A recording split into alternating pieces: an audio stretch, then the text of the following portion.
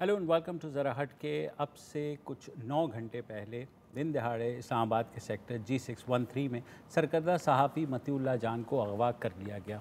उसके बाद जो सीसीटीवी फुटेज सामने आई है, उसमें देखा जा सकता है कि दो से तीन गाड़ियाँ हैं, एक एंबुलेंस है और एक जो वीगो है जिसके ऊपर पुलिस के जो सायरन होते हैं वो लगे हुए हैं लाइटें और उन्होंने ज़बरदस्ती मतीउल्ला जान को अगवा किया और वहाँ से ले गए। उसमें दो आ, काली यूनिफॉर्म पहने आ, लोग भी नज़र आते हैं जो बज़ाहिर तो एंटी टेरर स्क्वाड के आ, का यूनिफॉर्म है लेकिन अभी तक आ, किसी भी आ, जो कानून नाफिज करने वाले एजेंसी ने इस बात की बात की ज़िम्मेदारी ना ही कबूल की ना ही उन्होंने बताया है कि मतीउल्ला जान कहाँ हैं। आईजी पुलिस बकौल human rights minister Shireen Mazari के, उन्होंने आईजी से बात की है और उनसे कहा है कि मतीउल्ला को जल्द बाजियाब कराया जाए। उस पर जो आईजी इस्लामाबाद है, उन्होंने ये तो कहा है कि ये उनकी ज़ेर जो उनके अंडर जो पुलिस है, उसने ऐसा कुछ नहीं किया है और वो पूरी कोशिश कर रहे हैं कि मतीउल्ला जान को बाजियाब करा लें। जो सरकर्दा रहनुमा हैं, सियासी जमातों के बशमूल हकूमत, उन्होंने इस अगवा के ऊपर गहरी तशवीश का इजहार किया है, मजम्मत भी की है और ये कहा है कि इसकी ज़िम्मेदार हुकूमत होगी बकौल अपोजिशन रहनुमाओं शहबाज शरीफ और बिलावल भुट्टो के कि अगर मतीउल्ला जान को कुछ होता है। आ, कुछ जो एफ़ आई आर की दरख्वास्त दी गई है उनके भाई जो वकील हैं शाहिद अब्बासी। उसमें ये कहा गया है कि सुबह दस बजे के बाद मतीउल्ला जान वहाँ, जहाँ गर्ल्स स्कूल है, जहाँ उनकी अहलिया काम करती हैं, उन्हें छोड़ने के लिए गए। और उसके बाद ये वाक़ हुआ, उनकी अहलिया का ये कहना है कि उन्हें वो अंदर थी, उन्हें नहीं पता चला कि बाहर क्या हुआ है, मगर उस सीसीटीवी फुटेज में देखा जा सकता है कि मतीउल्ला जान ने अपना फ़ोन जो है, वो इस स्कूल के अंदर फेंका, जिस पर एक एक अहलकार स्कूल के गेट पर आया और वहाँ एक ख़ातून थी, उनसे उन्होंने वो, उनका मोबाइल फ़ोन वापस दिया और उसके बाद वो गाड़ियाँ जो हैं, वो वहाँ से चली गई। हमारे साथ मौजूद हैं मज़हब साहब सीनियर तजज़ाकार हैं।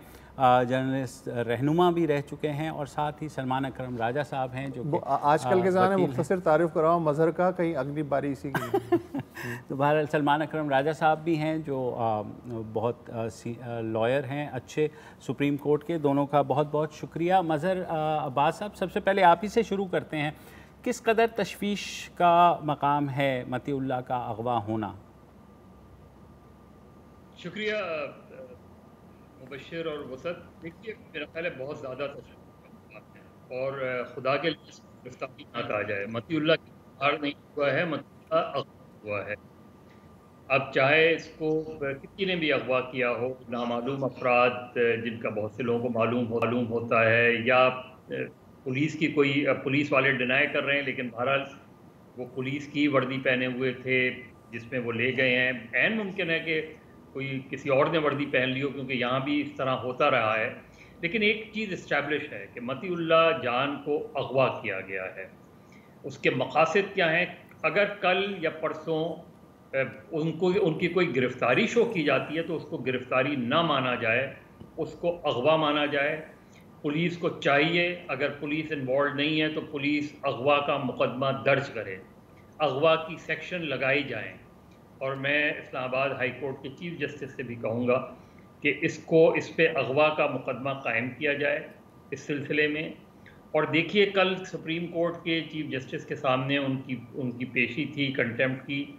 लिहाजा चीफ जस्टिस ऑफ़ पाकिस्तान को भी चाहिए कि इस चीज़ का ना सिर्फ़ नोटिस लें, बल्कि वो भी ये डायरेक्टिव इशू करें कि इस तरह जो हुआ, जो भी वाक़ हुआ है, ये सीधा सीधा अगवा है, ये किसने अगवा किया है ये अगवा बहरहाल है। देखिए, मतीउल्ला इस्लामाबाद के सहाफ़ियों की मजमू तौर पर उनके उनके जिस तरह अभी वसत कह रहे थे, उनको नापसंद करने वाले भी बहुत से लोग हैं। उनकी सहाफ़त से इख्तलाफ करने वाले भी बहुत से लोग हैं।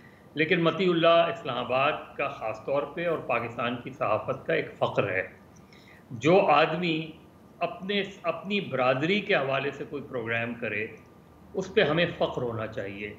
उसके प्रोग्राम से, बहुत से प्रोग्राम से, बहुत से लोगों को इख्तलाफ हो सकता है, रहा है इख्तलाफ। लेकिन सबको पता है कि मतीउल्ला बिल्कुल स्ट्रेट फॉरवर्ड आदमी है। उसने उसने जो समझा, जो सच समझा, उसने कहा। अब ये ज़रूरी नहीं है, अभी मैं कुछ एक आध शो में कहीं देख रहा था थोड़ा सा क्रिटिसिज्म भी हो रहा था तो ठीक है, हर सहाफ़ी की अपनी राय भी हो सकती है उस हवाले से। लेकिन उसके जो भी इख्तलाफ है जिससे भी उसने कोई अगर गलत काम भी किया है तो ये जो तरीक़ाकार अडॉप्ट किया गया है, इससे मुझे सलीम शहजाद की याद आ जाती है, इससे मुझे उमर चीमा की याद आ जाती है, इससे मुझे अहमद नूरानी की याद आ जाती है। और बेशुमार इस्लामाबाद के सहाफ़ी हैं, जिनको वक्ता वक्ता हरासा किया जाता रहा है। ख़ास तौर पे इस्लामाबाद में ये रही है रवायत, हमने बलूचिस्तान में देखी है, हमने खैबर पख्तूनख्वा में देखी है फाटा के सहाफ़ियों के साथ, अंदरून सिंध के सहाफ़ियों के साथ, बेशुमार कराची में ख़ास तौर पे, कराची में सूरत हाल बहुत ख़राब रही है।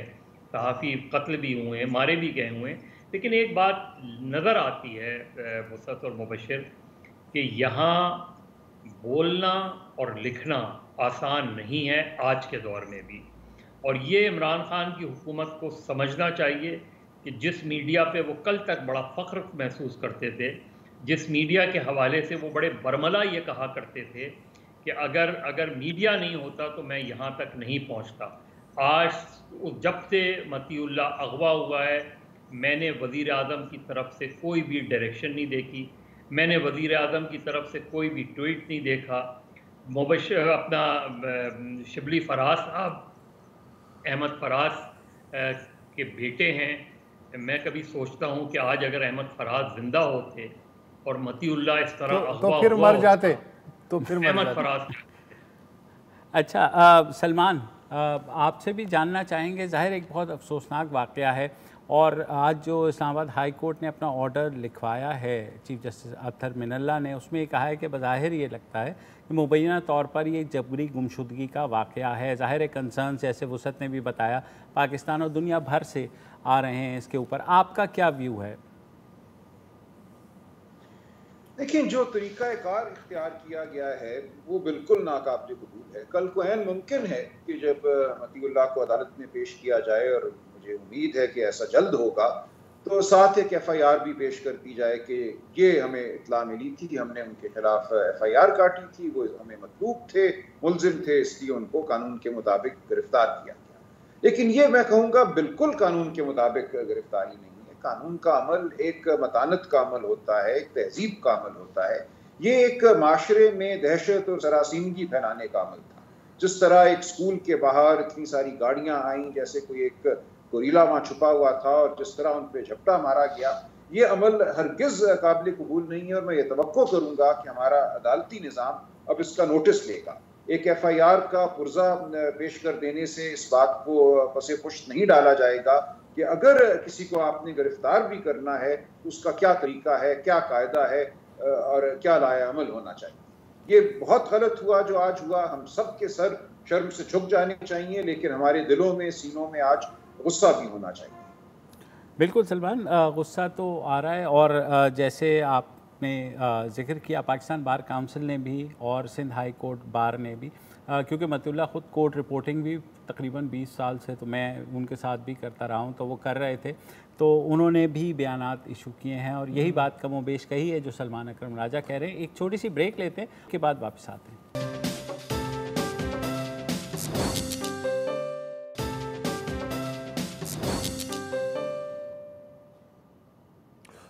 Welcome back. गुफ्तु हो रही है। जो अगवा हुए हैं हमारे सरकर्दा सहाफ़ी मतीउल्ला जान उनके बारे में। सल, सलमान अकरम राजा इस मुल्क के एक मरूफ कानूनदान है वो हमारे साथ मौजूद हैं। मज़हर अब्बास साहब सरकर्दा सहाफ़ी जो हैं वो मौजूद हैं। आप दोनों से मुझे एक सवाल करना है बस। आ, कोई भी जवाब देने में पहल कर सकता है उसके बाद दूसरा उसका जवाब दे दे। देखिए कोई भी काम किया जाए अच्छा या बुरा उसका कोई ना कोई मकसद होता है। मसलन अगर मैं इस लेवल के किसी आदमी को बतौर इदारा या गिरोह या इंडिविजुअल अगवा करता हूँ तो या तो मैं तावान चाहता हूँ या मैं उसे ब्लैकमेल करना चाहता हूँ या मैं उसकी आवाज़ दबाना चाहता हूँ कोई मकसद होगा? ये जो मतीउल्ला जान को अगवा किया गया और पिछले नौ घंटे में अगर इसका मकसद था दहशत फैलाना मीडिया के ऊपर मज़ीद दहशत फैलाना या कंसर्न लोगों के कान हो जाएँ, उनको ख़बरदार करना तो उसकी बजाय वर्ल्ड वाइड या अंदरून मुल्क गुस्सा नज़र आ रहा है हर तरफ़। कोई डरवर नहीं रहा है। तो मैं जानना चाहता हूँ कि जिन्होंने अगवा किया, उनके आईक्यू लेवल के बारे में आप क्या फरमाते हैं? देखिए बहुत सीधी सी बात है। पाकिस्तानी जर्नलिस्ट मैं ज़ाती तौर पे समझता हूँ, दुनिया में जहाँ जिन जिन ममालिक में आज़ादी सहाफ़त की बात की जाती है, लैटिन अमेरिका उठा लें, जिस सेवेंटीज़ का, या आज भी दुनिया में जिस जगह, मेरा ख्याल है पाकिस्तान की जर्नलिस्ट कम्युनिटी ने जो स्ट्रगल की है, वो कम से कम इस रीजन में तो अनमैच्ड है। यानी एक ज़माने में कुलदीप नैयर साहब ने गालबा लिखा था इंदिरा गांधी की इमरजेंसी के बारे में कि अगर यहाँ पाकिस्तानी जर्नलिस्ट होते तो शायद इमरजेंसी नहीं लगती। हम्म। यानी उन्होंने आँखों से देखा था कि किस तरीके से मार्शल अदवार में सहाफ़ी लड़े हैं जो है स्ट्रगल की है कोड़े खाए हैं निसार उस्मानी जैसे लोगों ने जेल जाके चक्की पीसी है ये सारी चीज़ें हुई हैं। तो मेरा ख्याल है पाकिस्तानी जर्नलिस्ट को बहुत ही मिसअंडरस्टूड करते हैं वो लोग।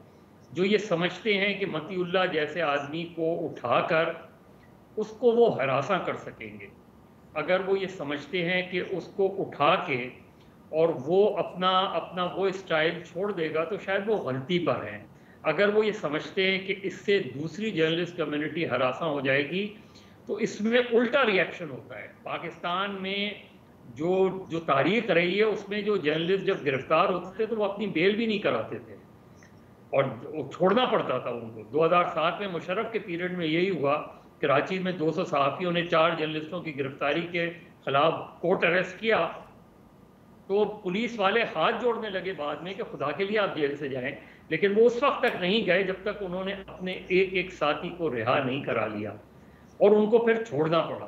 तो मेरा ख्याल है जो यहाँ मारे गए हैं, जिस तरह भी सलीम शहजाद की मिसाल हमारे सामने है हामिद मीर पे जिस तरीके से अटैक हुआ, बलूचिस्तान में सहाफ़ी जिस तरह मारे गए हैं, पूरे खैबर पख्तूनख्वा में जिस तरह जर्नलिस्ट मारे गए हैं तो क्या जर्नलिस्टों ने लिखना छोड़ दिया? हाँ छापने वालों ने उनको छापना छोड़ दिया। टेलीविज़न वालों ने उन्हें बुलाना छोड़ दिया। टेलीविज़न वालों ने उन्हें नौकरी देना छोड़ दी। अखबार वालों ने उनके कॉलम सेंसर कर दिए, लेकिन वो अपने कहने और अपने लिखने से नहीं रुके।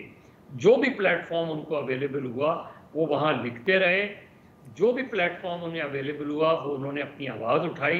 तो मेरा ख्याल है उन लोगों को ये ज़रूर सोचना चाहिए कि पाकिस्तान की जर्नलिस्ट कम्युनिटी की एक, एक तारीख रही है।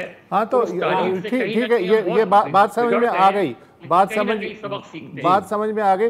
सलमान अकरम राजा मजहर अब्बास अगर ये कह रहे हैं कि जो मकसद था उसको हसूल में अगर सख्त नाकाम है तो फिर बार बार वही तजर्बा क्यों दोहराया जा रहा है? इस इसके पीछे क्या लॉजिक लगती है आपको? देखिए सरताज अज़ीज़ साहब ने हाल ही में अपनी किताब बिटवीन ड्रीम्स एंड रियलिटीज़ का दूसरा एडिशन पेश किया है। उसमें एक जगह वो लिखते हैं कि मेरी ज़िंदगी का एक बहुत बड़ा ताजुब वाला अमर ये है कि जब भी जमहूरियत के साथ कोई हादसा पेश आता है तो कितने लोग हमारे जैसे मिल जाती हैं कोलेबोरेटर बन जाती हैं एक्स कर जाती हैं और माशरे में वो अपना मकाम भी कायम रखती हैं। लेकिन मैं समझता हूँ ये बात अब पुरानी हो रही है। हम बाकी दुनिया से पीछे रह गए हैं, अपने खत्ते से भी शायद पीछे रह गए हैं। अब एक तब्दीली जो है वो हमें होती नज़र आ रही है। कल जो एक सुप्रीम कोर्ट का फैसला आया, नैब के हवाले से और नैब को कैसे इस मुल्क में इस्तेमाल किया जाता है, आज मतीउल्ला का वाक़ हो जाता है, उस पर जो रद्द अमल हम देख रहे हैं तो ये कौमें रियासतें आगे बढ़ती हैं, कोई ना कोई लम्हात आती हैं, जब आप कोलेबोरेट करना, मिलने वाली जो रविश है, ताकत के साथ, जाबिर के साथ खड़े होने की ख्वाहिश, उससे एक गिरोह कम अज़ कम आगे बढ़ जाता है और उस गिरोह की तरगीब में फिर माशरा भी आगे बढ़ता है। तो मैं ये खुश उम्मीदी रखूँगा कि ये जो वाक़ हुआ जिसकी जितनी मजम्मत की जाए वो कम है। लेकिन जो रद्द अमल आप दिखा रहे हैं दीगर अहबाब दिखा रहे हैं उसके नतीजे में हम आगे बढ़ेंगे और सोचने वाले अगर उनको सो, सोच की ताकत मैसर है तो करने वाले शायद ये सोचें कि ऐसा करना बेसूद है आइंदा ऐसा नहीं करना चाहिए। ठीक है अभी जी जी जी जी जी मज़ा साहब। मिसाल अगर दूँ यही यही असरार अहमद साहब जो इस्लामाबाद के सहाफ़ी थे पी ये फ्यूजे के बानी थे उन्होंने अपनी किताब बॉल एयर्स में लिखा है। राजा असगर साहब के बारे में जो इस्लामाबाद के बड़े नामवर सहाफ़ी थे डॉन से ताल्लुक़ था कि उनको एक मरतबा पेशावर में उठा के ले गए और उनको ठंडे पानी के ड्रम में डाल दिया गया। उनसे सिर्फ़ ये मालूम करने की कोशिश की गई कि आपने ये जो खबर दी है इसकी सोर्स क्या है। लेकिन उन्होंने सोर्स नहीं बताई। उनको पेशावर है पेशावर की एक अदालत ने उनको 10 साल की सज़ा दी। उन्होंने वो सज़ा भुगती फिर असरार साहब लिखते हैं कि मैंने as a P F U J secretary general उन्होंने असरार साहब ने जाके उनका मुकदमा लड़ा और जीता। तो यहाँ एक लंबी तारीख है, लोग मार खाते हैं, लेकिन अपनी सोर्स नहीं बताते, लोग मार खाते हैं, पीछे नहीं हटते, बल्कि मजीद सहाफ़ियों में वो जोश और बलबला पैदा कर देते हैं। सही है। तो हमारी तो तारीफ़ जी वक्फा ले लें उसके बाद सवाल आते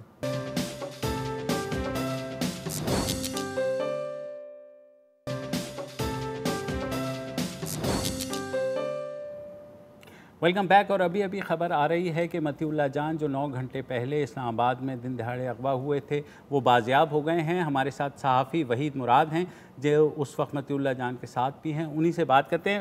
वहीद मुराद बताइए तफसीलात ज़रा।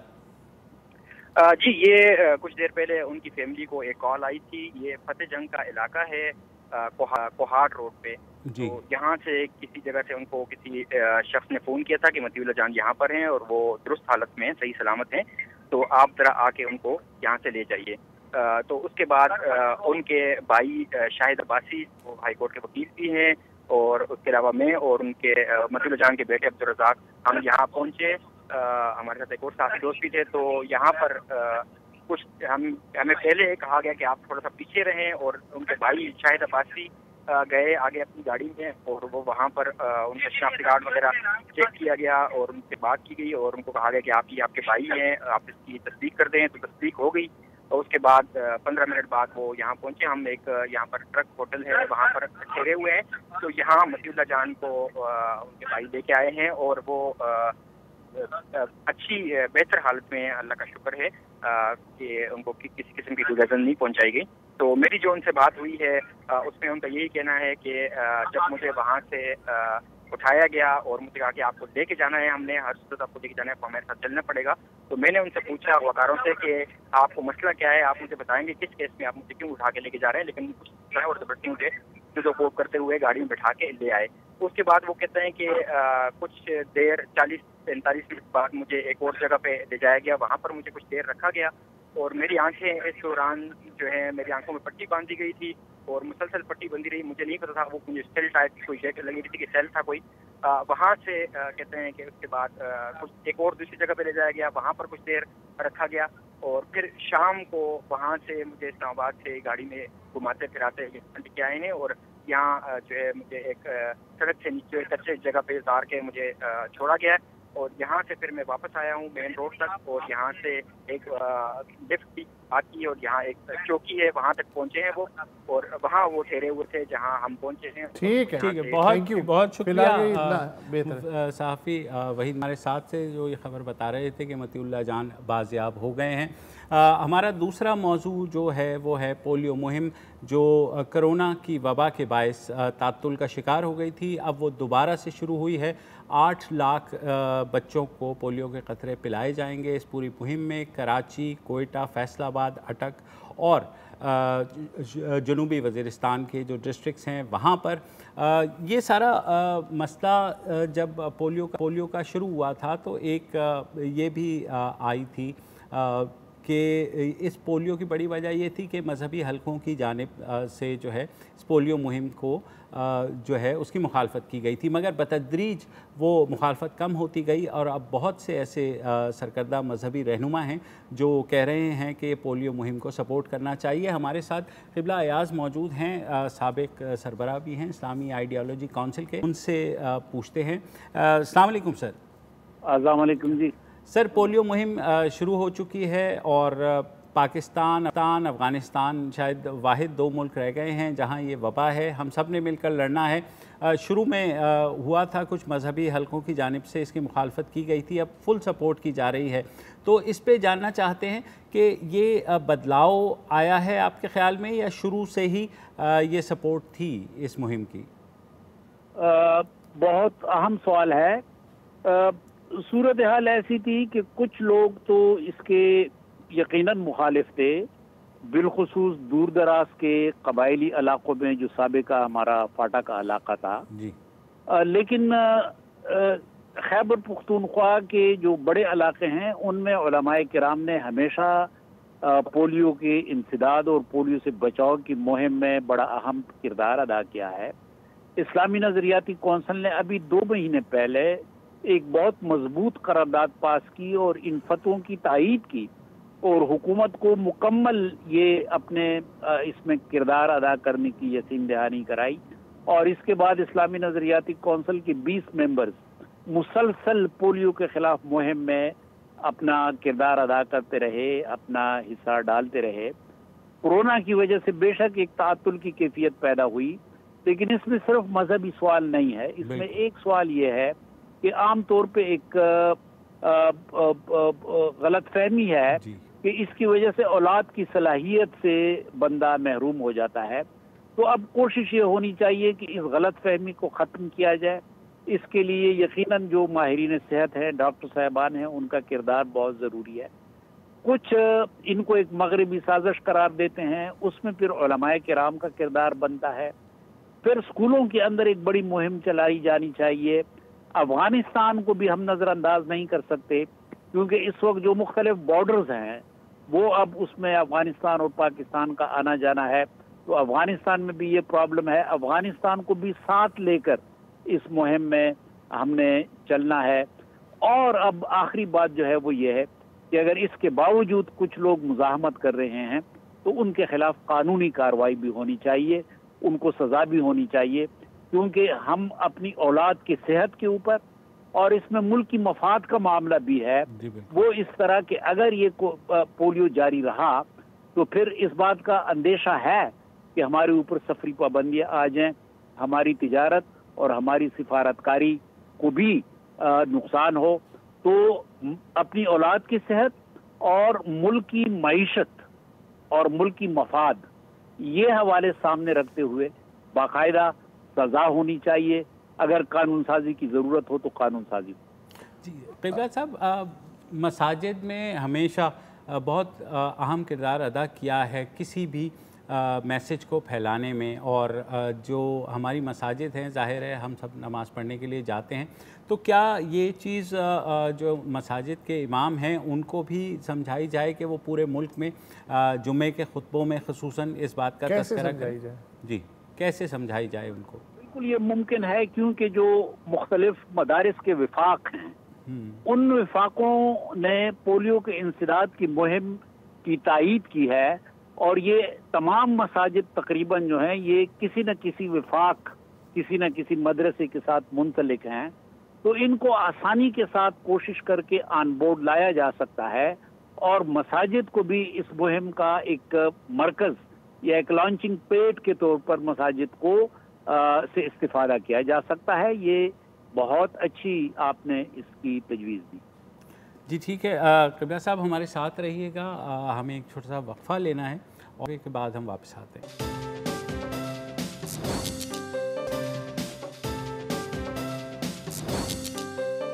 कोरोना की जो वबा है उस पर सारी तवज्जो इस कदर ज़्यादा है कि जो पाकिस्तान का इससे पहले का जो नंबर वन मसला था यानी पोलियो और उसके ख़िलाफ़ मुहिम, वो पहले ही बहुत ही टूटी फूटी लंगड़ी लूली चल रही थी। अब मज़ीद वो दबी हुई मालूम होती है तो दोबारा कैसे उसको रिवाइव किया जाए और लोगों को कैसे कायल किया जाए कि वो पोलियो को संजीदगी से लें?